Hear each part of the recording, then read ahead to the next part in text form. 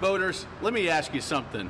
You ever yell at your wife or your kids because your docking didn't go exactly how you thought it should? If you struggle docking, check out the best boat captain on the water, Docking Mastery. It's risk free, it'll make your boating less stressful and way more fun.